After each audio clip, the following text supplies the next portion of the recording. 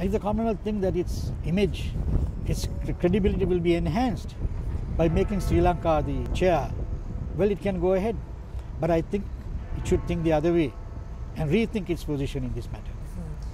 Some organisations, the Commonwealth Lawyers Association, the Commonwealth Legal Education Association, the Commonwealth Magistrates and Judges Association, have advocated that Sri Lanka should be ousted from the Commonwealth altogether. Yes. Uh, do you agree with that view?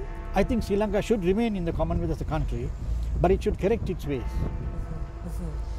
and uphold the values of the Commonwealth. Do you think the values of the Commonwealth are really so relevant in this modern age? Some might argue that the organisation, based primarily on remnants of the British Empire, is getting increasingly outdated. Do you think its values are still relevant? Of course, these values are never outdated because these are eternal values.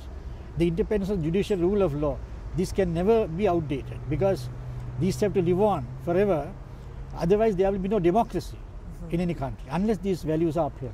And you think the organisation itself remains relevant? Very, very relevant, very relevant because they can give leadership to various countries and correct their ways, call, them, call upon them to be accountable to the ideals of the, of the association and to the rule of law and the independence of judiciary. Do you believe the international community should be doing more to help Sri Lanka tackle the great legal and political challenges outlined in this report?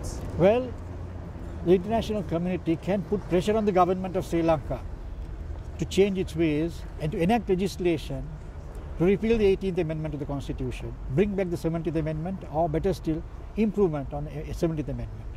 There's much that it can do in that, in that respect.